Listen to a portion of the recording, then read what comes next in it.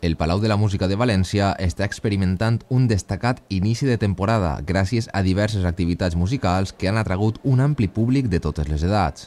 Amb tres concerts de reobertura, la temporada d'abonament de tardor, esdeveniments de jazz, corals, concerts benèfics i més, l'auditori ha reforçat la seva connexió amb la ciutadania. El director Vicente Llimerà va informar que l'assistència del 21 de novembre de 2023 va ser de 36.250 persones, amb un augment significatiu des de la reobertura. Llimerà va expressar entusiasme pel 2024, destacant la diversitat de gèneres musicals i nous continguts. Esdeveniments d'èxit a la sala Iturbi van concloure concerts amb entrades exaurides, com el Requiem de Mozart, la creació de Haydn i el Messies de Handel.